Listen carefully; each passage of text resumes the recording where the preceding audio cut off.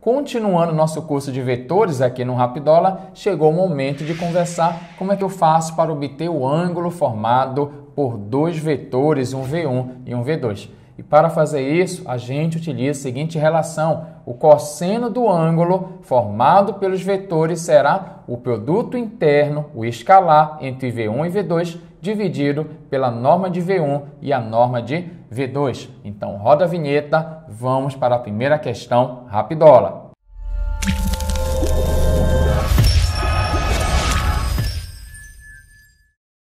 Determine o ângulo entre os vetores U, 1, menos 2 e 2, e V, menos 3, 6 e menos 6. Para você obter o ângulo, você vai fazer o seguinte primeiro. Vai calcular o produto interno entre o vetor U e o vetor V, Tá bom? Não vou colocar a setinha aqui em cima, a gente já sabe que são vetores.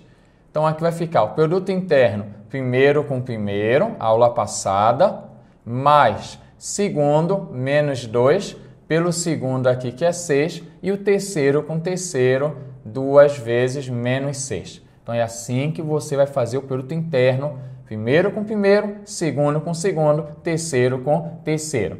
Aqui vai dar menos 3, menos 12 e menos 12. Então, eu vou ter resultado aqui menos 27. Após isso, você vai calcular a norma do primeiro vetor e a norma do segundo vetor. A norma do vetor U é a raiz de 1 elevado à segunda menos 2 à segunda e 2 à segunda, que é o comprimento do vetor. Aqui vai ficar 1 mais 4 mais 4 vai dar 9, cuja raiz quadrada de 9 é o número 3. Então, esse é o módulo do vetor U. Vamos calcular agora a norma do vetor V. Raiz de cada 1 elevado à segunda potência. Menos 3 à segunda, 6 à segunda e menos 6 elevado à segunda.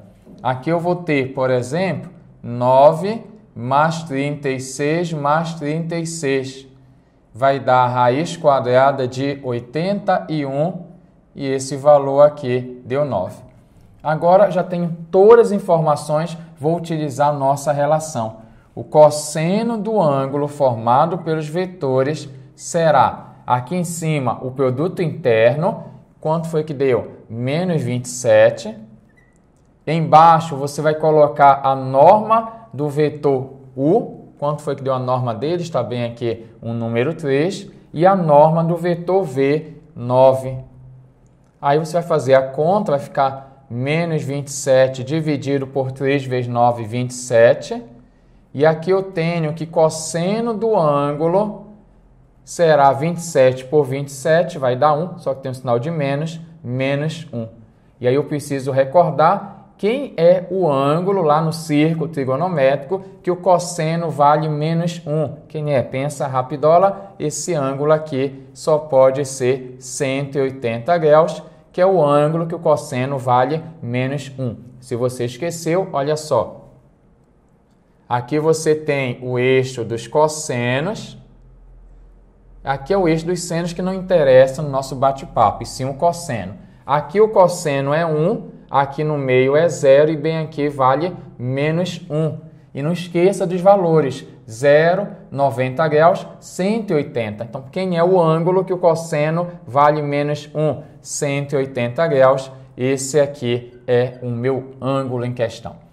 Uma observação importante, que em verdade, em verdade eu vos digo, que eu tenho dois ângulos, tá? Eu tenho esse ângulo θ formado pelos vetores e eu tenho outro ângulo também bem aqui, chamar aqui de beta, que é formado pelos vetores.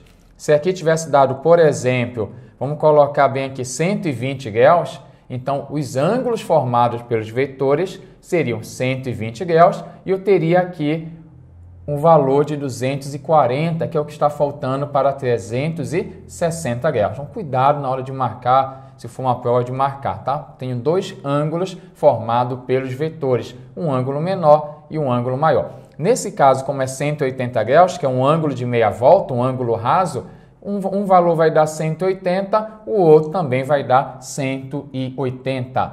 Vamos agora para a questão número 2, que eu quero saber o ângulo formado pelos vetores V1, 1, 2 e 2 e V2, menos 1, 0 e 2. Qual é a ideia? A mesma. Você vai calcular aqui o produto interno entre os vetores V1 e V2. Como é que eu faço o produto interno? Primeiro com primeiro, 1 que multiplica menos 1, 2 vezes 0 e 2 vezes 2.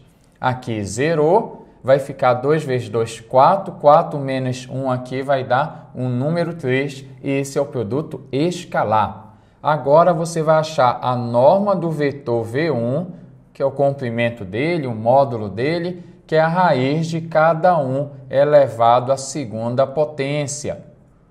Aqui você vai ter, ajuda aí rapidola, 1 mais 4 mais 4 vai dar a raiz quadrada de 9, que vai dar um número 3.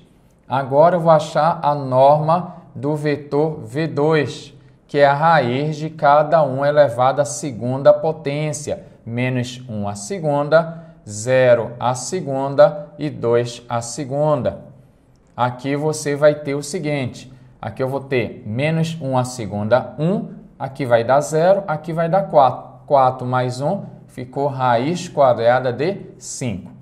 Vamos agora substituir na nossa relação para se obter o ângulo formado pelos vetores. Vai ficar assim, ó.